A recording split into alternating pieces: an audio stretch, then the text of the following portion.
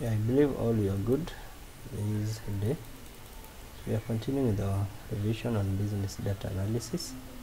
And uh, specifically today we are going to look at going to look at a question on uh, capital allowances or investment allowances. These are allowances that are granted to an investor on capital expenditure. And the main aim is uh, to reduce the tax liability under what you call tax planning whereby investors do claim the capital allowances because we know in accounting we normally provide for depreciation which caters for loss of value due to usage of property. But when it comes to taxation the um, depreciation is non-allowable deduction. And the main reason it's not allowed because people will use different rates for the same item. Yeah like a furniture when you depreciate an asset I can choose 10 percent. Another party can use 20 another party can use 5 so because of that discrepancy the capital allowances uh, were granted now whereby they normally brings uniformity in taxation where similar assets they will be uh, they will be having similar rates whereby they are classified into several categories. Whereby we have what we call the investment deduction the industrial building deduction and uh, we have what we call the wear and tear we have the mining allowance. Yeah, all these allowances uh, the main aim is in order to provide for the loss of value of the item or the capital asset that has already been bought. So in our case we have a question here. It says Safi Manufacturing Company Limited started its operation on 1st January 2022 producing soft drinks for the local market. The company acquired the following assets on commencement of its operation. So been given factory building plant and machinery file cabinet motor vehicle photocopier LCD television visitors chair trucks and trailers computers labor quarter parking bay and processing machinery calculators water pump. Additional motor vehicle comprise of pickups to supply soft drinks to the local market.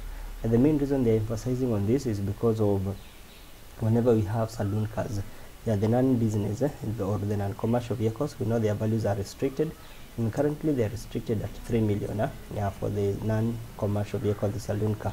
The cost of trailers was 1.4 and again here they are emphasizing on these trucks and trailers.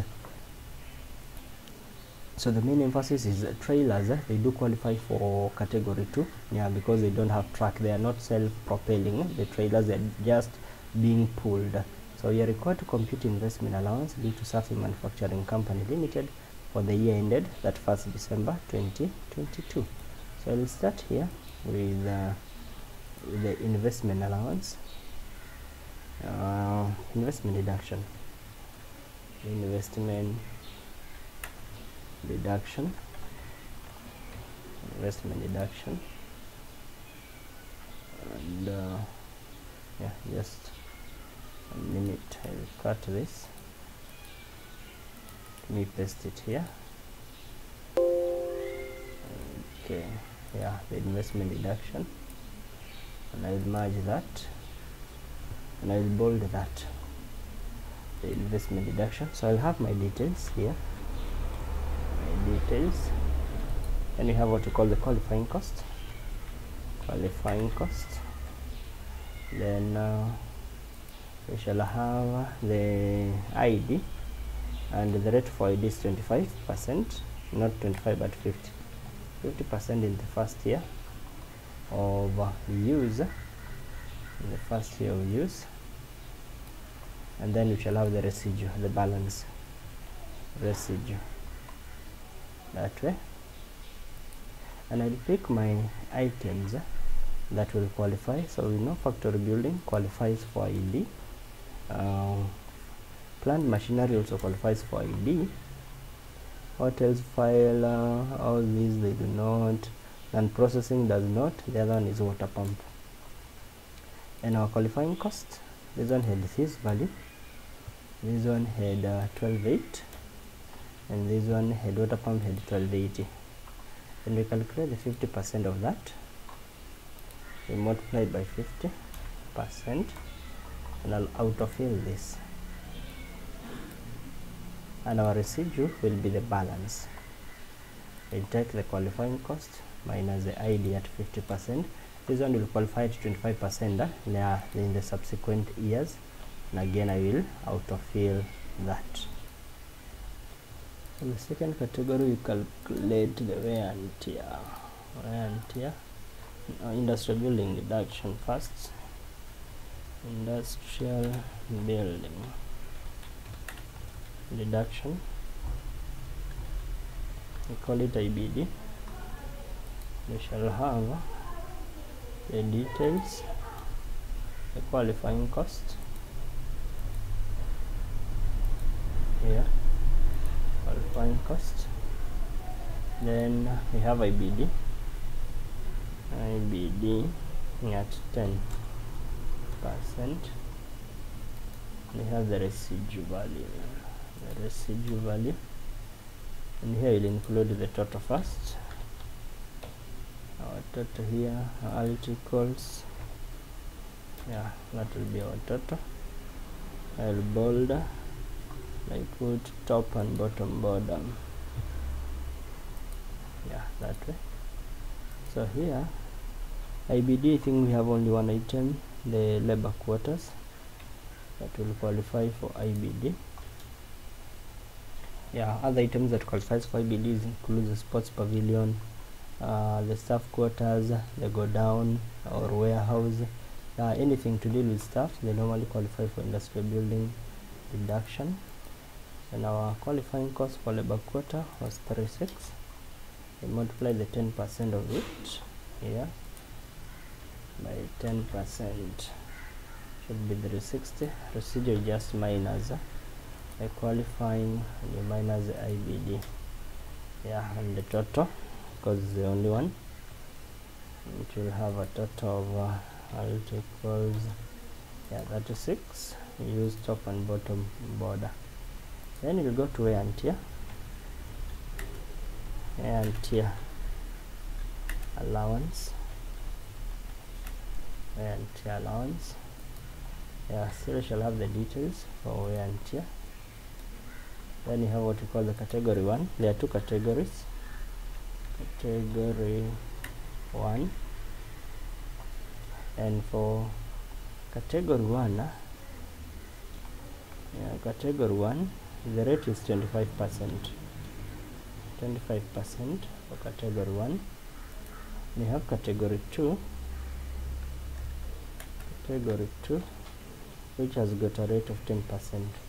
So remember category one incorporates the items that were formerly in the class 1 class 2 and class 3 and uh, category 2 the former class 4 so category 1 has got three items the one that were qualifying for class 1 uh, the heavy and moving machinery class 2 office equipment of electronic in nature and the class 3 which was uh, having the other machineries. So all of them and others currently even are doing the three classes but each one of them with 25 but you can consolidate them into category 1 and the other one into category 2 and uh, here the qualifying items.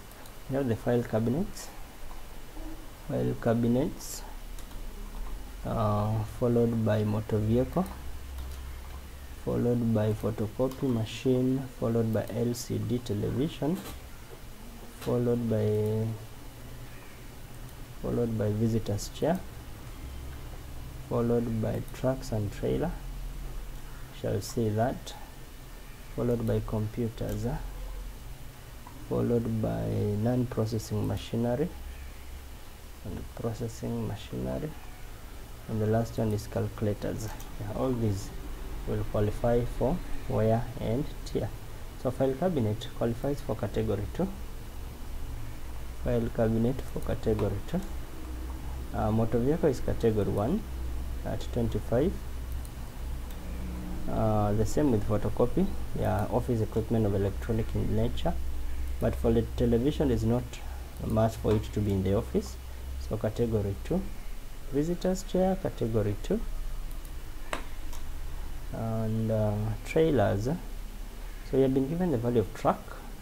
Truck qualifies for category 2 but trailer for category 1 the reason truck is not uh, we call it what? It's not self-propelling it's just but pulled. So for the trucks will be category 1 when they give you the two values and the trailers in category 2 so here we shall minus uh, trucks and trailer we had 9.2 and I minus this value. Yeah to remain with that value yeah for the trucks. Computers uh, we have 400 and uh, these are the one non-processing machinery. Will qualify for category 2 at 10 percent. Calculators their office equipments and uh, they will qualify for category 1 yeah so those are the categorization. Category 1 and category 2 then we shall have what we call the qualifying cost here. Our qualifying cost. And uh, we shall use alt equals the sum. Yeah we sum this. And I'll autofill this. Yeah that is our qualifying cost. Then uh, we calculate and wear and tear and uh, this one is at 25 percent. So the qualifying cost I multiply by 0 0.25 uh, 25 percent. And I'll autofill uh, this one so that you have the written down value. Written down value carried down. Written down value carried down. So this one so for the wear tear I'll use a negative sign. Here even this one uh, I'll use negative because we are minusing that way. And uh, for the written down I'll take alt equals alt equals here for the two of them. And I'll autofill again this one. And I'll use a top and bottom border to complete that. And that is our wear and tear allowance. Uh, here we'll put uh, top border only on that. Yeah that's how that question was supposed to be done for the capital for the capital allowances.